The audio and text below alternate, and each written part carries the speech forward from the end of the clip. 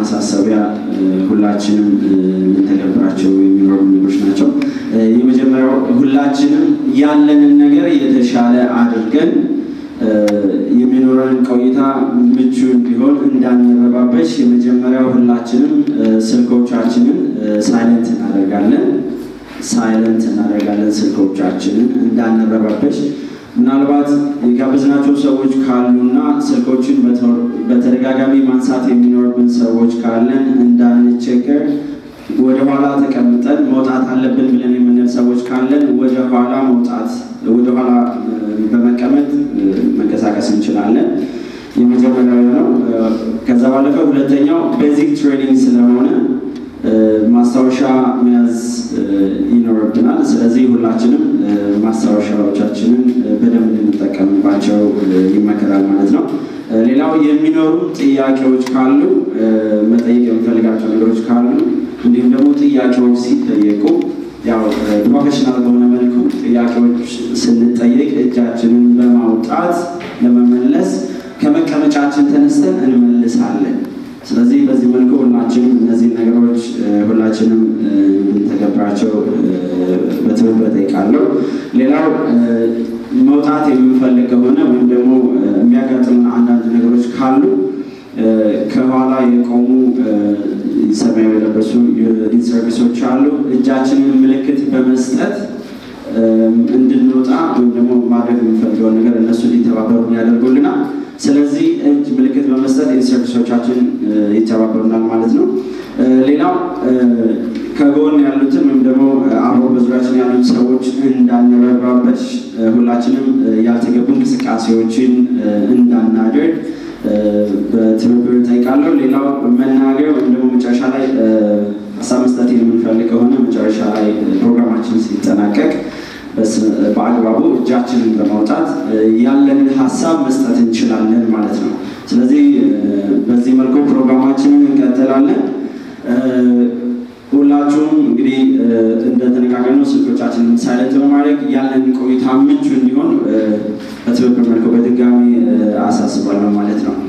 እሺ ስለዚህ በቀጥታ ፕሮግራማችን ከመሄዳችን በፊት እንግዲህ ሁላችንም ሊደሮች ነን።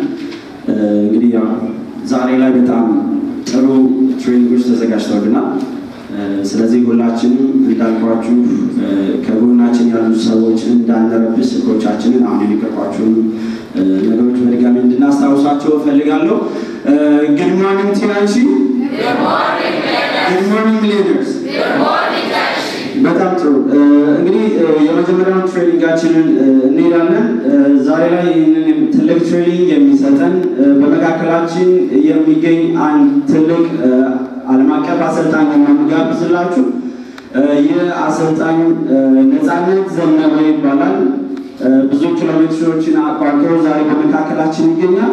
ይህንን ዓለም አቀፍ አሰልጣኝ ከመጋበዛችን በፊት እንግዲህ በደንብ መረጋጋቱን እንድትቀበሉ እፈልጋለሁ። ነፃነት ዘነበ እንግዲህ በ company ያችን ከስድስት ዓመት በላይ ቆይታ አለው። በዚህ በ company ያችን እንግዲህ በአሁኑ ሰዓት gold lion ላይ የደረሰ እጅግ በጣም በከፍተኛ ስኬት ላይ ያለ እንዲሁም እስከ ግማሽ ሚሊዮን ብር በየወሩ make እያደረገ ያለ በጣም ትልቅ leader ኣችን ነው። ይህንን leader ኣችንን በ company ያችን professional ጭብጨባ ከመቀመጫችን ተነስተን በትልቅ ሞራል ልትቀበሉ እፈልጋለሁ። ሁላችንም እጃችን ላይ የያዝናቸውን ነገሮች እናስቀምጣቸው። አንድ ሁለት ሶስት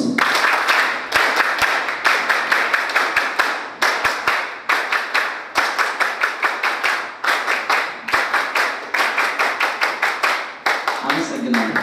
እንደምን አደራችሁ? እሺ፣ ባላችሁበት ቁሙ።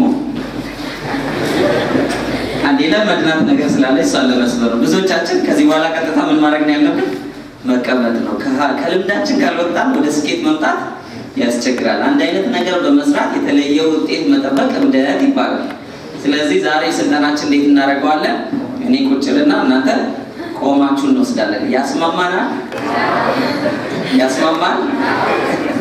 አሁን የምንለው ያው በይሉኝታ ነው። በእርግጥ ድሬ ይሉኝታ የለም፣ ግን እንደዛ የሚል ሰው አለ። ለማንኛውም አዲስ ስልጠና ነው የምትወስዱት። በህይወታችን ስኬታማ ለመሆን የሚያስፈልጉንን የተለመደውን መንገድ ትተን ምን ለማድረግ ነው? አዲስ መንገድ። አንድ አባባል አለ ሰው ወደ ወንዝ ታች ሲዋኝ አንተ ወደ ላይ ዋኝ አሳ ታገኛለህ። አብዛኛው ሰው የሚያደርገውን ነገር ስታደርግ ግርግር ነው አይደል የሚሆነው። ግን ጥቂት ሰዎች የሚያደርጉት ወይም ማንም የማያደርገውን አዲስ ነገር መሞከር ሁለት ነገሮች አሉት። አንድ risk አለው፣ ሁለተኛ opportunity አለው። ስለዚህ ቆሞ መማር አብዛኛው ሰው ያደርገዋል ወይስ አያደርገው? ስለዚህ opportunity የምትፈልጉ risk ም አለ አይደል? ድንገት ወለም ሊለን ይችላል፣ ደግሞ faint ልናደርግ እንችላለን ወዘተ። በዛው ግን ጡንቻችንም ሊጠነክር ይችላል አይደለ? እድሜያችንም ሊጨምር ይችላል። ስለዚህ ከሁለቱ የምንመርጠው ማየት ነው። opportunity ውን የሚያይ ቆሞ ይማራል፣ የማያይ ደግሞ ቁጭ ማለት ይቻላል። ስለዚህ አሁን እንደ ፍላጎታችሁ ቁጭ ማለት የሚፈልግ ይበል፣ ስኬት የሚፈልግ ይቁም። እሺ፣ አመሰግናለሁ። አረፍ በሉ። አመረረን እያላችሁ ነበር። በጣም ጥሩ። ከረጅም ጊዜ በኋላ ድሬ ሲጀመር አካባቢ መጥቼ ነበር። አሁን ደግሞ ከረጅም ጊዜ በኋላ መጥቻለሁ። የሚገርም ለውጥ አለ። መጀመሪያ አካባቢ ስንመጣ እንዲህ አይነት ፕሮግራም ስናዘጋጅ እዚሁ ነበረ፣ እዚሁ ታች ሬስቶራንት ውስጥ ማለት ነው። እዛ ነበረ የተዘጋጀው እና አስራ ሁለት ሰው ነበር የመጣው እና ብዙ ሰው መጣ ብለን ደስ ብሎ ነበር። አሁን ደግሞ አርባ ሰው ወር ሀምሳ ሰው መጥቶ ትንሽ ሰው መጣ ተብሎ ይታሰባል። ግልጽ ነው። አያቸው የጊዜ መለየት ማለት ነው። እስከሰራችሁ ድረስ አስራ ሁለትም ብዙ ይሆናል፣ አርባም ትንሽ ይሆናል፣ አርባም ደግሞ ብዙ ይሆናል። እ፣ እንደ ጊዜው ማለት ነው። አንድ ሺህም ትንሽ የሚሆንበት ጊዜ እንደዚሁ አለ። የመጀመሪያ የምናየው training eight basic building blocks ነው። ስምንቱ መሰረታዊ የዚህ ቢዝነስ መገንቢያ ጡቦች መሰረታዊ ጡቦች። ቤት ሲገነባ አንዱ ጡብ ቢገል ቢጎድል ቀዳዳ ይሆናል። ወይ አውሬ ያስገባል፣ ወይ ደግሞ ብርድ ያስገባል፣ ወይም ደግሞ ግንባታው በትክክል ላይሆን ይችላል፣ ሊፈርስም ይችላል። ስምንቱን ከሰራችሁ በዚህ ቢዝነስ ስኬት አንድ መቶ percent ማግኘት ትችላላችሁ። ከስምንቱ የገባንን ሰባቱን ብንሰራ አንድ ጎድሎን ሳይሳካልን ይቀራል። እንደምን እንደ ካዝና አንድ ሰው ካዝና ቢሰጣችሁ ካዝና ውስጥ አንድ ሚሊዮን ብር አለ ቢላችሁ ከዛ password ኡን ቁጥሩን ጽፎ ቢሰጣችሁ አስር ቁጥር አለው ዘጠኙን ጻፋችሁና አስረኛው ጠፍቷል፣ ተቆርጦ ሄዷል እና ካዝናው ለእናንተ አዝኖ ይህ ሰው ዘጠኙን ቁጥር አስገብቷል፣ ቢያንስ ገርበብ ልበልለት ይላል እንዴ? ካዝና አይልም። ስኬት እንደዚህ ነው። ሙሉን እናሟላለን፣ ከዛ በኋላ ሙሉን ውጤት እናገኛለን። ስኬት እንደ ይሄም eight basic building blocks አሁን የምናየው ስልጠና እንደ ምንድን ነው የሚያገለግለን? እንደ ስኬት ነው ስኬታማ ለመሆን እነዚህን ስምንት ነገሮች ማወቅ አይደለም መስራት ያስፈልገናል። ከባድ ናቸው አይደሉም፣ ቀላል ናቸው። ብዙ ሰው በዚህ ቢዝነስ ውስጥ የሚሸውደው የምንሰራቸው ቀላል ነገሮች ናቸው። ለዚህ ነው ለገለጻ የተለያየ ቦታ ስትሄዱ ሰዎች ስጠሯቸው እባክህ ውሸት ነው እንዲህ ቢሆን ኖሮ ሁሉም ሰው አይሰራውም ነበር፣ አጭበርባሪዎች ናቸው፣ ከዚህ በፊት መጥተው ጠፍቷል ምናምን ይላሉ። ግልጽ ነው። የተለያየ ስም ሰዎች ሲሰጡ ታያላችሁ። ለምን? ቀላል ስራ ተሰርቶ ከባድ ውጤት ሲገኝ አይተን አናውቅም። ከዚህ በፊት የምናውቀው ምንድን ነው? ልፋ ጣር ጋር ከዛ እድል ካለ እግዚአብሔርን ከረዳ ይሳካልሃል። እስኪ እዚህ ቤት እጁን የሚያወጣልኝ እግዚአብሔር ወይም አላህ የማይረዳው ሰው ማስረጃ አለ? ጥበቃ ሊሆን ይችላል፣ ከንግድና ኢንዱስትሪ ማስረጃ ያለው ፈጣሪ እንደማይረዳ እስቲ ማይረዳው ሰው እኔን አይረዳኝ ረስቶኛል የምትሉ ሰዎች አላቸው። ረስቶና ቴሌ እኮ አይደለም ፈጣሪ ኔትወርክ ተጨናንቆበት የሚረሳ ወይም ደግሞ ባለስልጣን ሲመጣ switch off የሚያደርግ እንዲህ አይነት ፈጣሪ አይደለም ስለዚህ አንረሳም። system ና principle ኡ ሳይገባን ሲቀር ስም ሰጠን ቁጭ እንላለን። አንደኛው ግንባር የለን እንትና ደግሞ ግንባር አለ። ሳይሳካልን ሲቀር አሰሩብን፣ ሲሳካልን ደግሞ እኔ እኮ በቃ ምርጥ ሰው ነኝ። አይደለም። ስኬት የእድል ጉዳይ አይደለም። የምን ጉዳይ ነው? principle ኦችን አውቆ መርህን አውቆ እነሱን የመስራት የመተግበር ጉዳይ ስንቶቻችሁ እኔ ስኬት ስኬት ማለት የምፈልገው ጉዳይ ያለኝ ላሳካው፣ ላገኘው፣ ለሆነው ይህንን እፈልጋለሁ አንገብጋቢ ፍላጎት አለኝ የምትሉ ሰዎች ፍላጎት አለኝ ላሳካው፣ ለሆነው፣ ልደርስበት የምፈልገው ለራስ፣ ለቤተሰብ፣ ለሀገር፣ ለጤና፣ ለኪስ ወዘተ። በጣም ጥሩ። ለምትፈልጉ ማትፈልጉ አሁን training ኡ ስለማይጠቅማችሁ ብትሄዱ ጥሩ። ቤት በሰላም መተኛት እዚህ ቁጭ ብሎ እንደምን ሙቀት ውስጥ እንትን እንላለን። ፍላጎት የሌላቸው የምነግራችሁ እውነት ነው። ሂዱ እዚህ ፍላጎት ያላቸው ሰዎችና ፍላጎቱን ለማሳካት መንገድ፣ ብልሃት፣ ዘዴ ይኖር ይሆን ብሎ ለጠረጠረ ሰው ነው የሚሆን ይኖር ይሆን ብሎ ለጠረጠረ ሰው ከዛ መንገዱን፣ ብልሃቱን፣ ዘዴውን እናየዋለን። አንዳችም እኔ የፈጠርኩት ነገር የለም። እንዲህ ስራ ይሳካልሃል አሉኝ። ሁለት ሺህ ብር ደሞዝተኛ ነበሩ። በዛ ደሞዝ ላይ ታክስ መንግስት አራት መቶ ይወስድበታል። አነሰ ብሎ እንኳን አያስቀርም። ከላዩ ላይ አከራይ መጥቶ ይወስዳል። አነሰ ብሎ አያስቀርም። ስለዚህ አንድ ሺህ ብር ጊዜ ይቀራል። አንድ ሺህ ብር ሰራተኛ ቀጥሮ ያለው ከበት ነኝ አነሰ ብላ አታስቀርም። ሶስት መቶ ትወስዳለህ። በሰባት መቶ ብር ሰርከስ ሰራ ስኖር አለመችም ሰርከስ ሰራ የነበርኩ ሰው ነኝ የዛሬ ሰባት ዓመት። አሁን ይህንን መንገድ ሲነገረኝ ይሆናል ብሎ መጠርጠር ይሻላል። ብሞክረው የት ሄድብኛል? ድህነት እኮ ታማኝ ባልንጀራ ዞር ዞር ብላችሁ ስትመጡ ቁጭ ብሎ የሚጠብቀው እውነት ወይስ አሰብ የትም አይደል። እንዲሞክር ተባል ሞከርኩት፣ ሰራሁት። ከዛ challenge ገጠመኝ። ሲገጥመኝ ዞር ስል ቤት አንበሳ ነው። ድህነት ምንድን ነው? አንበሳ። አንዳንዶቻችን ግን እንደ ሳሎን ውሻ ነው የምናየው ድህነት። አብረነው እንጫወታለን። ስለዚህ የት ሄዳል? አይሄድም። እንደ አንበሳ ካያችሁት ግን ስትሸሹ ከሱ በላይ ከአንበሳው ፍጥነት በላይ ከራቃችሁት አለቅ። የዛሬ ሰባት ዓመት የነበረኝ ታሪክ ተቀይሯል። ግልጽ ነው። የምኖርበት ቤት፣ የማገኘው ገቢ፣ የምንቀሳቀስበት ቦታ በሰዎች ዘንድ ያለኝ ክብር ራሱ ተቀይሯል። ኪስ ክብርን ይሰጣል። አረ አይደለም ምናምን በሉኝ። አይ ያው አንድ እናት ሁለት ልጆች ቢኖራት አንዱ ቤት ቁጭ እያለ እየተጋደመ አልጋ ቢሰብር አንዱ ደግሞ እየሮጠ ኦሎምፒክ ላይ ሪከርድ ቢሰብር ማንን ነው የምትወደው? ቤት ያለው በፍቅር ለጋዝ ትልቀዋለች። ከውጭ ያለው ሲመጣ በፍቅር የእጇ ይቀርብለታል። እውነት አሰብ ተነስና እጁን አስታጥብ እዚህ ይባላል። ስለዚህ የትኛው ሞት ትፈልጋላችሁ? እኔ መከበር የሚገባኝ ሰው ነኝ የምትሉ ሰዎች ግዴታ አይደለም እጅ ማውጣት። መከበር የሚገባኝ ሰው እርግጠኛ ናችሁ? በጣም ጥሩ። ማን ያክብራል? ስራችን አይደል? ስራችን ውጤት ሲያመጣ ሰዎች ያከብሩናል። አለበለዚያስ የቅርብ ሰዎች ራሱ ግጥም አድርገው ያሙናል። ቤተሰብ ራሱ አይ አልሳካለታል ይሄ ልጅ በቃ የሆነ ነገር አሰርተውበት ነው። መቼም ኢትዮጵያ ውስጥ የማይሰራ ሰው እኔ ምንም ሰው ላይ ያሰርታችሁ የምታውቁ ሰዎች አላችሁ? በእውነት ንገሩኝ እስኪ። ማለት እኛ መሀል ካሉ ደጅም አሉ ከሌሉ ደግሞ የሉ። እስቲ ሰው ላይ ሆን ብሎ አሰርተው ቢያንስ ግድ የላችሁ የለም ከሌለ ደጅም የለም።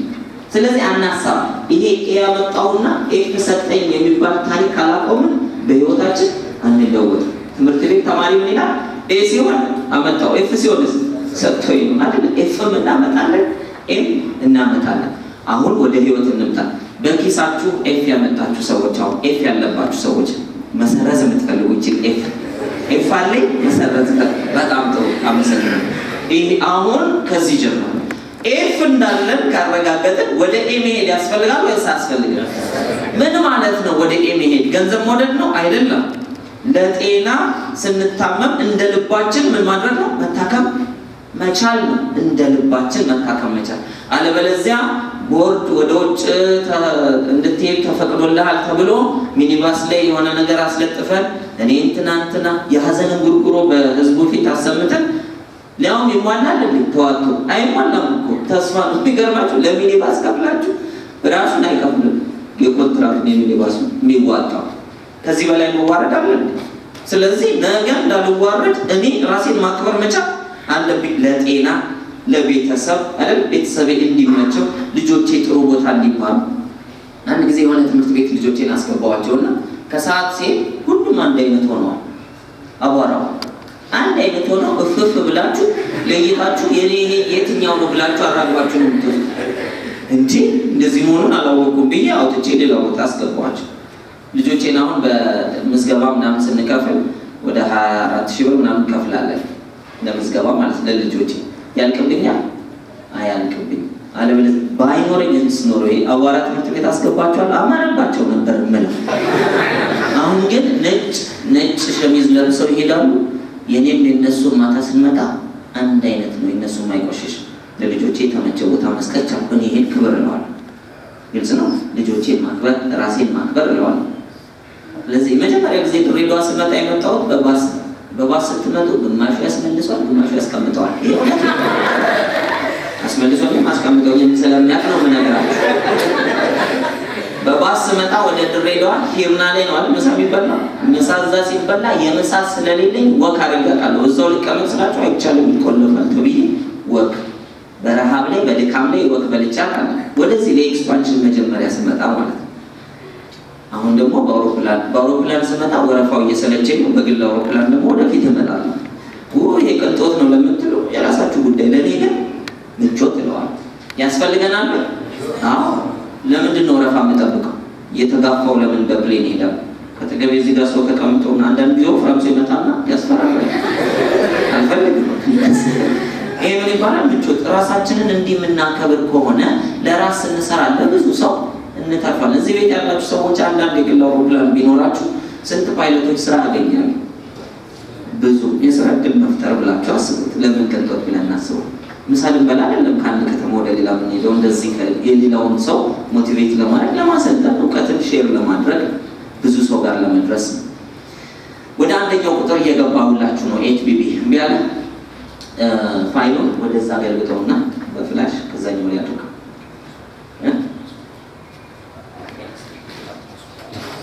የቢዝነሱ መሰረታዊ የመገንቢያ መሳሪያዎች ጡቦች፣ የመጀመሪያው አንደኛው ምንድን ነው? ድሪም አንደኛው ህልም። አደራችሁን ህልም። ምናልባት ዛሬ ገና ለመጀመሪያ ጊዜ የመጣችሁ ህልምማ ምን እዚህ ያስመጣኝ ተኝቼ የማየው ነገር አይደል እንዳንል፣ ህልም ማለት በቁማችን እያለን በልባችን በህሊናችን ውስጥ የሚንቀሳቀስ የሚላወስ በልበል አርግ አርግ የሚለን መልካም የሆነ ፍላጎት ነው። መልካምነቱን በምናውቃለን ያንን ፍላጎት ስንደርስበት ወይም ስናገኘው ወይም ስንሆነው የመሆን ጉዳይ ከሆነ ስንሆነው አንድ ራሳችን፣ ሁለት ቤተሰባችን፣ ሶስተኛ ማህበረሰቡ ይጠቀምበታል። ለምሳሌ ሚሊዮነር የመሆን ፍላጎት ቢኖረው አንድ ሰው በባንክ በኩል ሲያልፍ በጣም ጥሩ ሀሳብ ነው ብሎ ሙልጭ አድርጎ ይዞ ቢሄድ አንድ ራሱ ይጠቀማል፣ ሁለተኛስ ቤተሰቡ ይጠቀማል። ቤት ይዞ ሄዶ ከእንትን ባንክ እኮ ሰርቄ ያመጣው ብሎ ሊያከፋፍላል። ቤተሰቡ አይጠቀምም ወይም አይከብርበትም። ማህበረሰቡ ሲጠቀማል፣ ይሄ ማሽበር ነው፣ ስለዚህ አይጠቀምም። ራስ ቤተሰብና ማህበረሰብ የሚጠቀምበት ፍላጎት ካለ የግድ ያንን ማሳካት አለብን። ለምን? ፍላጎቱ የተሰጠን ነው። ማንም በችሎታው ፍላጎትን ፈጥሮ አያውቅም። እንዴ እንዴት የኔ ፍላጎት ነው የምትሉ ከሆነ ዛሬ በፕሌን ስመጣ አንድ ሰውዬ ቦታ የተወሰደ የኔ ቦታ አለ እና በጣም ገረመኝ። ማለት የተጻፈለት ቁጥር ማለት ነው። አየር መንገዱ ጽፎለታል። አንድ ሰው ተቀምጦለታል። ሌላ ቦታ ቀይር አሁን ሊነሳ ነው ሲባል ለምን ቦታዬ ተገፋው አለ። እንዴ ሀያ ዘጠኝ ቁጥር ከተባለ አንድ ሰው በቃ ሀያ ዘጠኝ የእሱ ነው። እኔና እናንተ ስም አለን። ስማችን የኛ ቢቀየር ማንነታችን ይቀይራል። ፍላጎታችን አይቀይር። ልብሳችን ማንነታችን ይገልጻል አይገልጽም። ቢቀየር ይቀይራል አይቀይርም። ስለዚህ እኔና እናንተ ማንነታችንን በትክክል ማወቅ አለብን። ይሄ ማንነት ደግሞ የተሰጠን ነው ነው ለምን ፍላጎታችን ቤት የሚፈልጋለ፣ መኪና የሚፈልጋለ፣ ጥሩ ትዳር የሚፈልጋለ፣ ትልቅ ትምህርት ቤት፣ ትልቅ ድርጅት መገንባት የሚፈልጋለ፣ ለሰዎች ብዙ መትረፍ፣ እርዳታ ድርጅት መክፈት የሚፈልግ ሰው አለ። ይህም ፍላጎት የእኔ እንዳንለው የፈለግንበትን ጭንቅላት የሰራልን ማን ነው? ፈጣሪ ነው አይደል? እዚህ ፍላጎትም የተሰጠን ነው። ፍላጎትን ቀብሮ መሞት ማለት በኋላ ሂሳብ ሲሰላ እህል ምን አረክበት ሲባል ምን ልንል ነው? ውይ ይሄ ነገር ከዚህ ነበር እንዴ የተሰጠኝ አንድ የመልሱኝ ሰርቼ ልምጣ አይባልም። ጊዜ ካለቀ በኋላ ማለት ነው። ስለዚህ ዛሬውኑ ምን ማድረግ አለብን? መስራት መቻል አለብን። ፍላጎታችሁን አትናቋቸው። ፍላጎታችሁን እንደ ተራ ነገር አትዩት። ማንነት ማለት ራሱ ምንድን ነው? ፍላጎት ነው። ማንነት ማለት ፍላጎት ነው። ለዚህ ነው dream። ስለዚህ ህልማችሁ ምንድን ነው? next ህልማችሁ ምንድን ነው?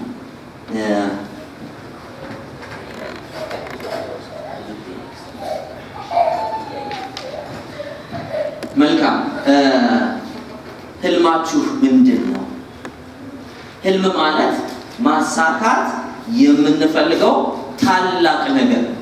ትንሽ ነገር እንድንሰራ ወደዚህ ምድር የመጣን ሰዎች የለንም። በስህተት የተወለድን ሰዎች የለም። እኔ ስህተት ነኝ ብሎ እንደማመን ትልቅ ወንጀል፣ ትልቅ ማንነትን የሚያሳጣና በድህነት የሚያስኖር ነገር የለም። እኔ ስህተት ነኝ እናትና አባቴ እኮ ሆድ ውስጥ እያለው ለማስወጣት ሞክረው ሞክረው ሞክረው አልሳካ ብሎ አብልጬ ነው የተወለድኩት። ለእናትና ለአባታችን ስህተት ብንሆን ለፈጣሪ ግን ስህተት አንሆን። ግልጽ ነው። ስለዚህ ማሳካት የምትፈልጉት ነገር ምንድን ነው?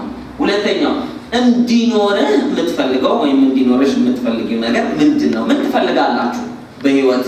እኔ ይህ ይህ ነገር ቢኖረኝ ብላችሁ የምትቆጥሩት ነገር ምን አለ? ሶስተኛው መስራት የምትፈልጉት ነገር አሁን እንዲኖረኝ አለን አይደል? ደግሞ መስራት የምንፈልገው ነገር መስራት የምንፈልገው ነገር ለራስ ሊሆን ይችላል፣ ለቤተሰብ ሊሆን ይችላል፣ ለአካባቢው፣ ለማህበረሰብ፣ ለዓለም ህዝብ ሊሆን ይችላል። መስራት የምትፈልገው ነገር ምን አለ? ፍላጎት ስለመፈለግ ነው የሚያወራው። የሰው ልጅ ፍላጎቱ ዝቅተኛ ከሆነ በድህነት መኖር ግድ ነው። በድህነት በበሽታ ሰላም በማጣት ውስጥ ይኖራል። ጠንካራ ፍላጎት ለዚህ ነው ደፋርና ጭስ መውጫ አጣም ሲባል የሰው ልጅ እንዲደፍር የሚያደርገው ፍላጎት ነው። እንዲደፍር የሚያደርገው ሴት ልጅን አላልኩም። ስለ መድፈር ሰውራችሁ ፍርሃትን ብቻ የሰው ልጅ ፍርሃትን እንዲደፍር የሚያደርገው ምንድን ነው? ጠንካራ ፍላጎት፣ የመለወጥ ፍላጎት ነው። ፍርሃትን እንዲደፍር የሚያደርገው የመለወጥ ፍላጎት ነው። ሪስክን እንድንደፍረው የሚያደርገን አለበለዚያ የመለወጥ ፍላጎት ዝቅተኛ ከሆነ አንድ ነገር ሲመጣ ተወባክን አይረባም፣ ከልኩ አያልፍም፣ ወዘተርፈ እንላለን። እንዴት ነው ከልኩ የማያልፈው? ያልፋል። ከልኩ ያልፋል ያሉ ሰዎች ናቸው ያለፉት። አያልፍም ያሉ ቁጭ ነው የሚሉት። ስለዚህ መፈለግ አለብን። መስራት የምንፈልገው ታላቅ ነገር። ወደዚህ ምድር የመጣሁበት ዋነኛ ምክንያት ምንድን? አንዳንድ ሰው ዋነኛ ምክንያት ሲባል library ውስጥ ገብቶ ሰዎችን ጠይቆ ምናምን የሚያገኝ ይመስለዋል። አይደለም። የመጣንበት ዋነኛ ምክንያት ማለት በውስጣችን ያለው ይሄ የሚንቀለቀል ፍላጎት እሱን አውጥተን apply ስናደርገው ለማህበረሰብ ሲተርፍ ያ የተፈጠርንበት ዓላማ ይባላል። ዓላማው በፍላጎት መልክ በውስጣችን ተቀምጧል። ለምንድን ነው ፍላጎታችን ዝቅ ያለው? ስንወለድ ሁላችንም ህፃናት ሆነን እኩል እንስቅ ነበር አይደለም? ዛሬ እኮ ሰላሳ ሁለት ሰላሳ ሁለት ጥርስ ይዘን ፈገግ ለማለት ራሱ ተቸግረናል። ድሮ ግን አንድ በሙሉ ድድ በየቀኑ ምናደርግ ነበር? እንስቅ ነበር። ከት ብለን እንስቅ ነበር፣ አንድም ጥርስ ሳይወጣለን። ጥርሱ ቁጥር ሲጨምር ፈገግታው እየቀነሰ መጣ። መጨረሻ ላይ አቁመናል። ወንዱን ኮስታራ፣ ሴቷ ኮስታራ ሆኗ በመከራ ነው አንዳንዱ አስረኛ ዓመት ክብረ በዓል የሚያከብራለን ከሳቅኩኝ ብሎ ከልቤ ከሳቅኩ ስንት ጊዜ የምትሉ ሰዎች አላቸው የላቸው? ከልቤ ከሳቅኩ ማን ያዘን? ማን ከለከለ? ኑሮ አይደለም። ኑሮ ማለት ምንድን ነው? እጅና እግር ያለው የሆነ አካል ነው አይደለም። ኑሮ እንደ ተመልካቹ ነው። ኑሮ ምርጥ ናት ለሚል ሰው ምርጥ ይሆንለታል። ኑሮ ህይወት መከራ ናት ለሚል መከራ፣ ውጣ ውረድ ናት ለሚል ውጣ ውረድ፣ ፈተና ናት ለሚል ፈተና፣ አልጋ ባልጋ ናት ለሚለው አልጋ ባልጋ ለማለት አይደለም። በውስጣችን እንዲያ ብለን ብንቀበል ለዛ ጠንካራ ፍላጎት ይኖረናል። ፍላጎቱ ራሱን ይገልጣል ነው። ስለዚህ ወደዚህ ምድር የመጣንበት ዋነኛ ምክንያትን ማወቅ ያስፈልገናል። በፍላጎት መልክ በውስጣችን ተቀምጧል። አንገብጋቢ ችግራችን ምንድን ነው? አንገብጋቢ ችግራችሁ ምንድን ነው? እኔ ይህን ስራ ከመጀመሪያ በፊት ወይንም ደግሞ ለመጀመሪያ ጊዜ ራሱ ባንክ ውስጥ ተቀጥሬ ስሰራ የመጀመሪያው አንገብጋቢ ፍላጎቴ የሚገርመው ስራ ተብሎ ስጀምር ለካ ወደ ስራ ለመሄድ ወር አሰርተው ነው የሚከፍሉን። ወር እንዲያሰሩኝ ደግሞ መሄድ አለብኝ። ለመሄድ ደግሞ ትራንስፖርት ያስፈልጋል። ሆድ የሚባል ነገር አለ። በየአራት ሰዓቱ ፈጭቶ ይጨርሳል። አስቸኳይ ነው የሚፈጨው። ስለዚህ ከእናቴ አራት መቶ ብር አለቀ። ታሪኬ የብድር መሆን የጀመረው መቼ ነው? አብዛኛው ሰው እኔ አሁን አሁን ሶስት F እያመጡ የሚደጋግሙ አለ? ዩኒቨርሲቲና ኮሌጅ እነሱ ሳይሻሉ አይቀሩም። ቢያንስ ቤተሰብ ተማሪ ናቸው በሚል ሰበብ ይደጉማቸዋል። ልክ ስራ ስትይዙ ግን ከመደጎ እንደው መጠበቅ ይጀምራል። ያኔ መስጠት ስትጀምሩ ለካ የለም ባዶ ነው። የመጀመሪያው አንገብጋቢ ነገር በቂ ገንዘብ ማግኘት ለመኖር ለመኖር ነው ብላችሁ ሌላ ልቀቶት አይደለም። ስለ መብላት፣ ስለ ትራንስፖርት፣ ስለ ልብስ ነው ማውራችሁ። በቂ ምን ያስፈልጋል? ገንዘብ ያስፈልጋል። ሶስት ወር ከሰራው በኋላ ባንክ ውስጥ በጣም የገረምን አንገብጋቢ ችግር ያልኩት እኔ ምን ደስ ይለኛል፣ ጥሩ ምግብ መብላት። እንዴ የማይፈልግ ሰው አለ እንዴ? የለም። ግን ጥሩ ምግብ መብላት ደስ ይለኛል። ይህ ብፌ ተደርድሮ ለዚህ ነው አይታችሁ እንደሆነ ለሰርግ ብዙ ጊዜ ተጋፍተን ሄደን ቁልል አድርገን ትንሽ ሳልያ ትሪ ሊያደርጉልን ራሱ ሞልተን እንመጣለን። ለምን ብዙ ጊዜ በአግባቡ ስላልበላ ለሰርግና ለድግስ ብቻ የምንበላ ሰዎች ሆነ ያነሳነውን ራሱ አንጨርሰውም፣ ግን ጉጉቱ ስላለ እንዳለ ነው የምናነሳው። የጠላት ገንዘብ እስኪመስል ድረስ ነው የምናነሳው። በእነዚህ አይነት ሶስተኛ ወር ላይ ባንክ ውስጥ ሆኜ ምን ሆነ መሰላችሁ? እኛ ምሳ ለመብላት አዳዲስ ተቀጣሪዎች ውጭ ልንበላ ስንወጣ አንድ አለቃችን አስራ አምስት ዓመት ባንክ ውስጥ የቆየ ከመሳቢያ ውስጥ ምን አወጣ? ምሳቃ። በጣም ነው የደነገጥኩት። እኔ ዲፕሎማ ላይ እሱ ዲግሪ አለ። እኔ አንድ ዓመት አልሞላኝ፣ እሱ አስራ አምስት ዓመት ሰርቷል። ምሳቃ ካወጣ ነፃነት ከአስራ አምስት ዓመት በኋላ ምሳቃ ያወጣል። ሊያውም እድለኛ ከሆኑ በዲፕሎማ ምሳቃ አይወጣም ማለት ነው። በዲግሪ ምሳቃ ካወጣችሁ በዲፕሎማ ምንም አታወጡ። ጾም ነው ማለት ነው። የምሬን ነው ብላችሁ እኔ ደነገጡ። ምክንያቱም ቤት መኪና ምናምን ይኖረኛል ብዬ ነው በዛ ጊዜ የማስበው። ምንድን የተሸወድኩት? ከዛም ጊዜ ጀምሮ ስራ መፈለግ ጀምሮ ደሞዝ ቀንሽ የገባው አሁንም ስፈልግ ለካ ጉልቻ ቢቀያየር ወጥ አያጣፍጥም። ከስራ ስራ ቢቀይሩ ያው ነው። ስለዚህ አንገብጋቢ ችግር ምንድን ነበር በወቅቱ? በቂ ገንዘብ እንዴ እኔና እናንተ እኮ ማኪያቶ ለመጠጣት ስንሄድ እዚህ ጋር ሶስት ብር እዚህ ጋር ሁለት ከሀምሳ ቢሆን ያው ነው ብለን የት ነው የምንሄደው? ሁለት ከሀምሳ ያው ግን አይደለም፣ ያው አይደለም። ርካሽ ቦታ ስትሄዱ almost የምንጠጣው የሰው ጉልበት ነው። እዛ ጋር የሚበዘበዝ አንድ ጉልበት አለ። እውነት አስብ። ቀኑ ሙሉ የሚሰራ እዛው የሚተኛ የሚያልበው ሲያልበው ምናልባት ጠብ ሊልበት ይችላል። ማኪያቶ ሁሉ እውነት ነው ወይስ ሐሰት ነው? ማለት five star ሆቴል ውስጥ ሲሆን ጸጉር ጠብ እንዳይልበት ምን ያደርጋሉ ሼፎች አድርገው። አንዳንድ ጊዜ ጸጉር በረሮ ምናምን ወደ ጎን እያደረገናል ይባላል። ኪሳችን የሚችለው ይሄን ከሆነ እንደዚህ አይነትም ይቀርብልናል። ራሳችንን የምናከብር ከሆነ ደግሞ ከነ service ኡ ንጹህ ነገር ጤናችንን የምናከብር ከሆነ ይሄ ምን ይባላል? አንገብጋቢ ችግራችን ምንድን ነው? ጤና ጤናን ለመጠበቅ ገንዘብ ያስፈልጋል። አስገዳጅ ምክንያት ዛሬ ላይ ወደ ህልሜ ካልሄድ የተሻለ ገቢ ካላገኘውን የሚያስገድድ ነገር አለ። አንድ ጊዜ አዳማ ከተማ ውስጥ አንድ ልጅ አስገዳጅ ምክንያታችሁ ምንድን ነው ሲባል ገና ጀምረን አንድ ዓመት አልሞላንም፣ እጁን አወጣ። የእኔ አስገዳጅ ምክንያት ልጄ ሲታመም የሎሚ መግዣ እንዳላጣ ነው አለ። ተራ ሊመስላችሁ ይችላል። ታሪኩን ሲናገር ሁላችን እንደነገጥን። አንድ ጊዜ ምን ሆናል? ልጄ ታመም፣ ሆስፒታል መሄድ መውሰዳችን ህፃን ልጅ ከጎረቤት አንድ ሰው ሴትዮ መጡና አይ ቀላል ነው አመድና ሎሚና ቅቤ ያርጋችሁ አናቱ ላይ ያርጉለት ይድናል። አመድ ችግር የለም ማለት ከየትም ይገኛል። ከዛ ሎሚ ሲፈለግ ቤት ውስጥ የለም። የኔም የባለቤቴም ኪስ ሲፈተሽ ቦርሳ ሲፈተሽ አስር ሳንቲም የለም። ከዛ leather leather እንትን ነበረኝ ለጃኬት እሱን አደረግኩና ሱቅ ሄጄ ቀለል አድርጌ ሰላም ነው ምናምን እስቲ አንድ ሎሚ ስጠኝ በኋላ እመጣልሃለሁ። እምቢ አለኝ። አይ ልጄ ታሞ ነው እምቢ። ከዛ ምን አደረኳለ ሎሚ ምናምን ጉሊት የሚሸጥበት ቦታ ሄጄ ሲሸጥ የተራረፉ የተበላሹት አሉ አይደል? እነሱ ጋር ሰው ሳይንቃስ ብዬ አንስቼ ለልጅ ያደረኩለት ልጄ ዳነ። ስለዚህ እኔ የምሰራው ለመለወጥ የምጥረው ለልጄ የአስር ሳንቲም ሎሚ ለመግዛት እንዳላጣ ነው። አንገብጋቢ ነው አይደለም? በጣም አንገብጋቢ ነው። አስር ሳንቲም ትንሽ መሆኑን አይደለም፣ ግን ያጣን ብዙ ሰዎች አሉ። እኔ ያስታውሳለሁ ባንክ ተቀጥሬ እየሰራሁ ኪሴ ውስጥ ምንም አጥቼ ሱት ለብሼ ማለት ነው የታክሲ አጥቼ ብር ከምናምን ከመርካቶ እስከ ኬንያ ኤምባሲ የሚባል ቀበና አካባቢ እየሄድኩኝ ብዙ የኔ ቤቶች መንገድ ላይ ይለምኑኛል። ሱት ለብሳችሁ ካያችሁ አይለቋችሁ እና በጣም ጮክ ብለው ሲለምኑ የተደረደረውን አይቼ ሀይል ቢያቅ ኖረው በሰጠኝ እያልኩኝ የተመኘሁበት ጊዜ አለ። ማወራችሁ እውነተኛ ታሪክ ነው። ስለዚህ ይሄ አንገብጋቢ ነው አይደለም። የሚለምነኝ ሰው ከኔ በላይ ነው። አይገርም? እኔ ለመለመን ፈርቼ ብቻ ነው እንጂ በዛ ሰዓት ማን ይሻለበት ሳንቲሞች አይቼ ጓጉቻ ነጫጮቹ በተለይ በብዛት ካሉ በቃ ስለዚህ ይሄ አንገብጋቢ ነው።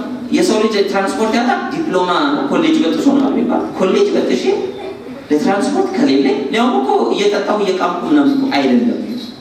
ከቤት ወደ ስራ ከስራ ወደ ቤት ከዛ ካፌ ገብቶ ምግብ መብላት ምግብ መብላት ማለት መቼም ቁርስ መሰራ የሰው ልጅ አንደኛ ክፍል የተማርነው ነገር መሰረታዊ ነገር መሰረታዊ ነገር ባንክ ገብቼ መግዛት አልቻለም።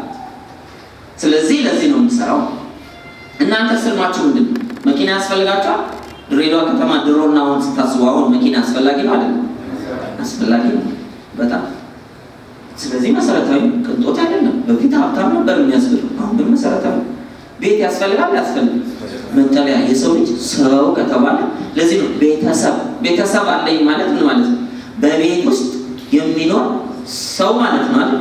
ቤቱ አለ ወይስ የለም? አብዛኞቻችን እስቲ ቤት የራሱ ቤት ያለው ሰዎች የራሱ አንድ ሁለት ሶስት አራት አምስት ስድስት ቤተሰብና ብዙ ጎዳና ተዳዳሪ ነው ያለው ዛሬ። ጎዳና ተዳዳሪ ማለት